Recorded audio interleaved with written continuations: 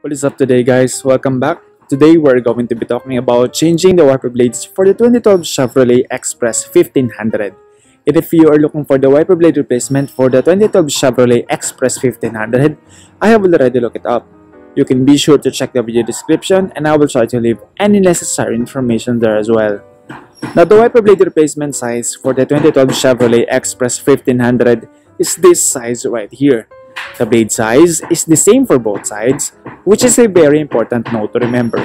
As you can see, it is 22 inches on both driver and passenger side. Once again, 22 inches for both driver and passenger side. If your 2012 Chevrolet Express 1500 uses a different size, make sure to leave us a comment and let us know. You can also check the video description because in there you will find the most recent price for these blades.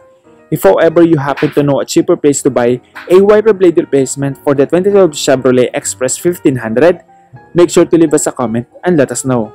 Guys, make this a habit to change your blades every 6 months or so, especially if you live in a country that gets rain or snow.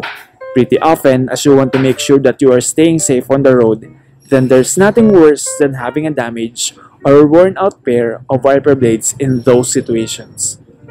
Alright guys, that's all for today. Have a nice day.